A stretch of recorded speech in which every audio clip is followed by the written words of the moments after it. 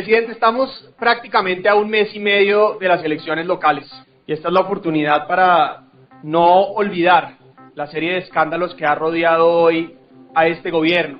Pero especialmente debemos desde la oposición continuar con nuestra tarea de desenmascarar a Gustavo Petro y este gobierno, que ni es el cambio ni es democrático. Pero además esta es la oportunidad para insistir en que este gobierno representa un daño a los colombianos, que es altamente peligroso. Peligroso porque se comprueba el pacto de la picota, peligroso porque pone en peligro la propiedad privada, peligroso porque instrumentaliza o pretende instrumentalizar a los campesinos, peligroso porque persigue a los empresarios y a los medios de comunicación. Presidente, colombianos, que no se nos olvide que este gobierno se hizo elegir, como bien dice el hermano del presidente, con un pacto con criminales para que lo eligieran desde las cárceles.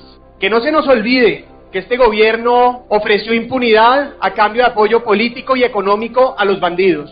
Ni perdón social, ni paz total, ni reconciliación nacional. Todo es sin duda la oferta de la impunidad absoluta a los bandidos que hoy tienen en terror a los colombianos. La paz total, la ley de paz total, el proyecto de ley de sometimiento, ahora la figura de gestores de paz o la oferta de recursos económicos a bandidos para que dejen de matar, demuestran una vez más el afán de este gobierno por pagar los favores electorales.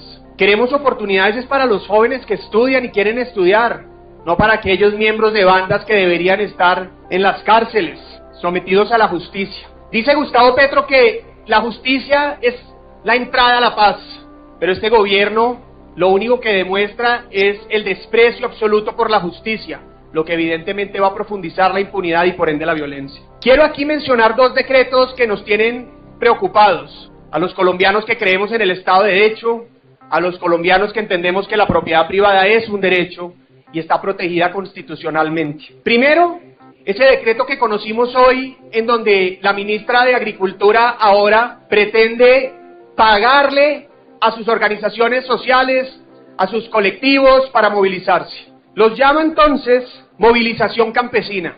La movilización ciudadana debe ser espontánea, debe ser pacífica evidentemente, pero especialmente auténtica. Este gobierno comete hoy un despropósito y es financiar una movilización tal como lo hizo en el paro violento del 2021 cuando era oposición para promover una reforma supuestamente o una supuesta reforma agraria. Colombianos, este gobierno está promoviendo entonces la organización de esos colectivos que apoyaron a Gustavo Petro y supongo yo que esta es parte también del pago de favores a quienes a, aquellos que lo apoyaron por medio del presupuesto público. Es decir, a través del presupuesto público este gobierno pretende financiar a esos colectivos probablemente para ir a invadir propiedad privada, probablemente para bloquear calles, probablemente para supuestamente reivindicar derechos, evidentemente sin reivindicar un solo deber. El segundo decreto es el decreto que evidentemente es de expropiación express. Dice el presidente que no se digan mentiras. Yo quiero aquí citar, presidente y colombianos, a la exministra de Agricultura del gobierno Petro, Cecilia López, quien asegura que el decreto de expropiación express, abro comillas, es un procedimiento riesgoso, ya que no habría juez que mediara la decisión, limitando así las garantías de los propietarios, cierro comillas. Es decir, el instrumento que hoy propone el presidente lo que va a hacer evidentemente es poner en riesgo el derecho que tienen los colombianos a tener su propiedad privada. Ahora, el presidente además, digo yo, quiere instrumentalizar a los campesinos y evidentemente además nuevamente es incoherente, contradictorio, pero especialmente con memoria selectiva.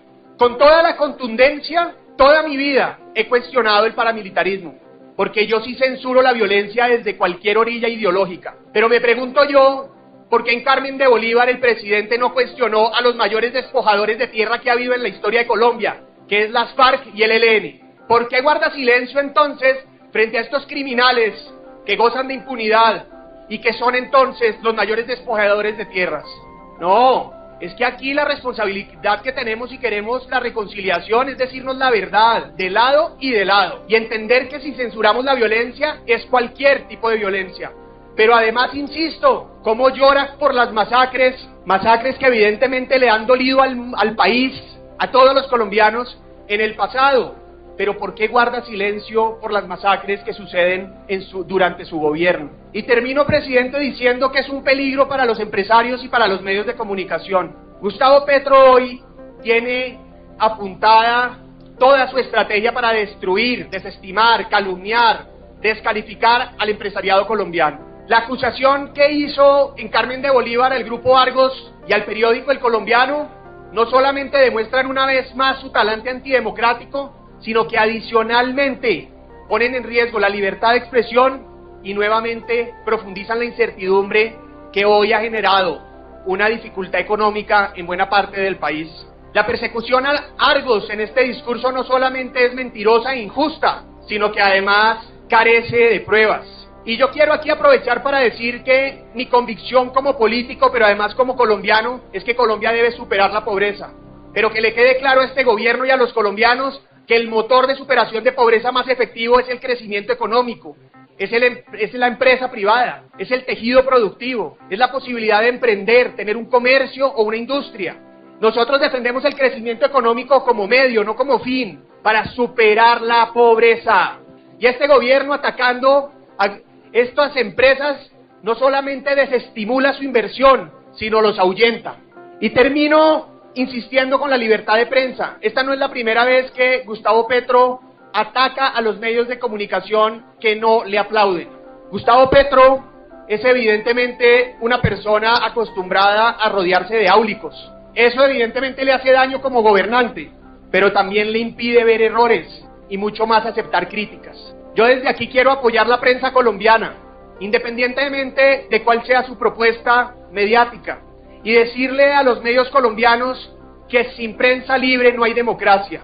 Por eso hoy, colombianos, tenemos una responsabilidad y es el próximo 29 de octubre votar en contra masivamente de los candidatos petristas, porque Petro será el gran derrotado el 29 de octubre, porque no ganará Bogotá ni con Bolívar, ni ganará Medellín con el candidato de Quintero, ni ganará Cali con el de Jorge Iván Ospina, y mucho menos ganará Barranquilla. El 29 de octubre va a ganar Colombia y va a ganar la democracia. Y vamos a encargarnos los colombianos que creemos en la libertad, en la democracia, en la propiedad privada, que creemos en los empresarios y en los emprendedores, movilizarnos para que así suceda.